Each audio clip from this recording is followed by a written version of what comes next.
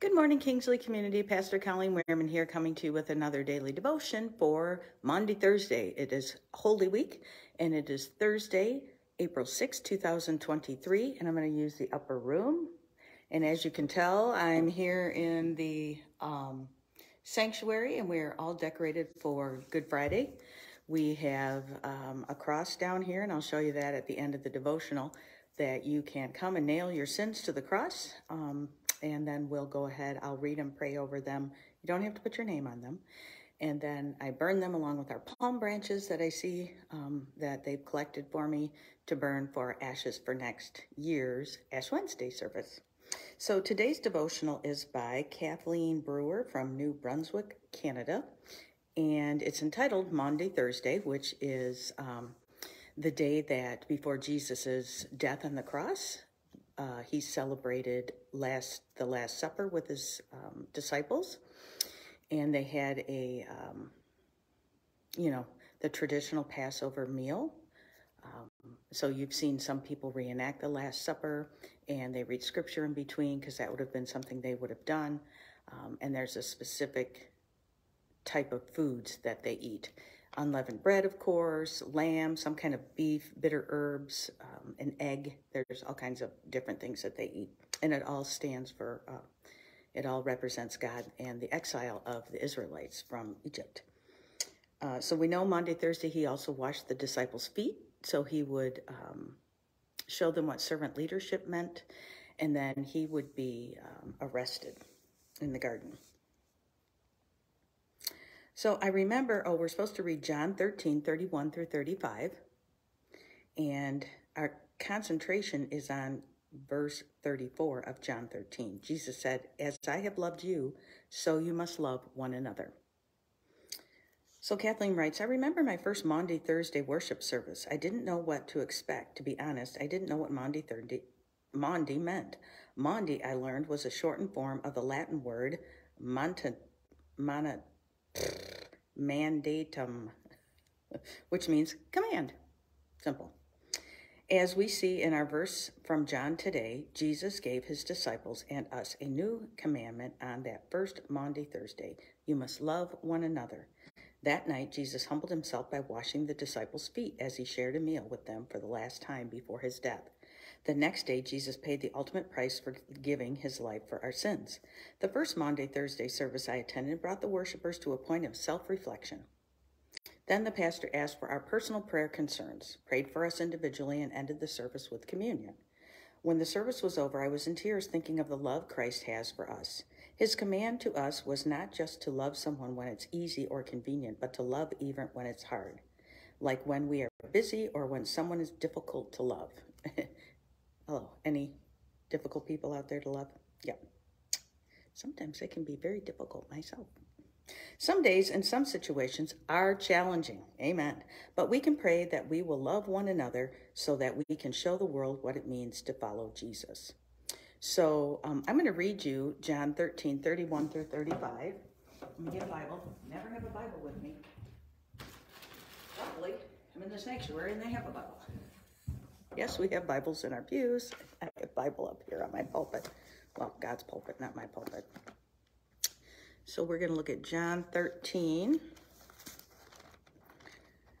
Matthew, Mark, Luke, John. Whoops. Whoa, went way past it. John 13.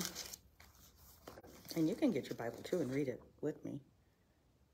What did I say? 31 through 35. When he had gone out, Jesus said, quote, red letters, now the Son of Man has been glorified, and God has been glorified in him. If God has been glorified in him, the Son, God will also glorify him, the Son, in himself, and will glorify him at once. So this is when he's talking about his resurrection. And also Jesus glorified God on the cross because he died a sacrificial death for all people, full atonement of sin for all people, not just chosen people, all people. And then it says, uh, Little children, I am with you only a little longer. So he's talking to his disciples. You will look for me, as I said to the Jews, so now I say to you, Where I am going, you cannot come. I give you a new commandment that you love one another, just as I have loved you, but you should also but you also should love one another. By this, everyone will know that you are my disciples if you have love for one another.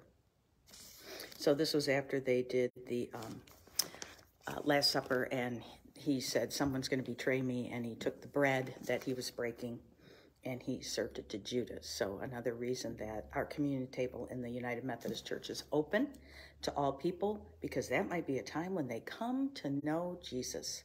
So, um, and the rest of us who know Jesus as Lord and Savior, we come to remember what he's done for us. You know, we can put all rules all over com- communion, but Jesus said, Do this often in remembrance of me. That sounds like a command.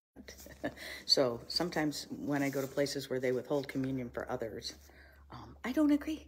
I don't go up and break the tradition of the church, but it's pretty clear in Scripture that Jesus said, Do this in remembrance of me, all of you. Drink this juice for forgiveness of sins, all of you. So let's say a prayer. And remember, we have Good Friday service tomorrow at 7 p.m. Easter egg hunt at 4 o'clock in Brownson Park. Come at 3.30 to register. You can register online, which means you just don't have to stand in a line. And you can start working on getting your picture taken with Easter Bunny and go around to all our little setup props to get your picture taken. And 4 o'clock promptly, we will have the Easter egg hunt. I'm apparently supposed to have some kind of Easter jokes or something to say. Okay, I'm sure I'll have something to say. But kids, if you have a clean Easter joke that you want to share, I'll have a microphone. Come find me. Um, and then on Easter morning, we have breakfast from 8.30 to 9.45, and then we come upstairs and we have a wonderful Easter service at 10 a.m. You do not have to come to breakfast. It is free to anyone who wants to come. Please come to service. We are an open church, a family church. We love all people. Come and hear the word of God and let God change your heart. It's not our job to change you, it's Jesus' job to change you. And boy, does he work on us. Holy smokes. I don't know about you, but I'm a little better than I was 30 years ago.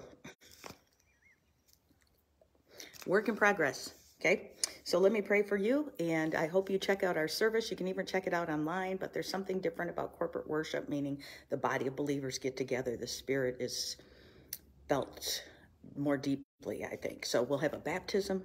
I'll have open communion, so you don't have to feel weird about coming up. Just come up. I'll tell you what to do. Just take a piece of bread, and then you take a little juice cup, and then we got garbage cans for you to throw it out, and I'll say, body of Christ broken for you, and then the person giving you the juice will say, blood of Christ shed for you. Um, come with an open heart. Come to experience a great mystery around sa- this sacrament um, a sacrament is a way for God to make known his grace in a physical way, a symbolic way.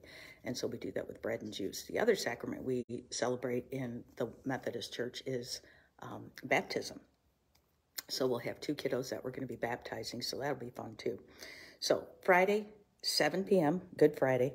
Saturday, Easter egg hunt, 4 o'clock, be there at 3.30.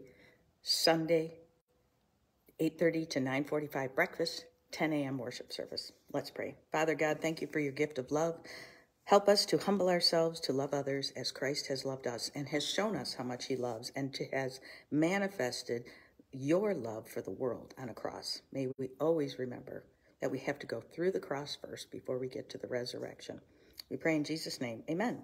The prayer focus is for strength to love like Christ. All right, I hope you have a good weekend and happy Easter. Um, and I will hopefully see you one of these days, Friday night, Saturday, or Sunday. Make sure you come up and say hi. Have a good day.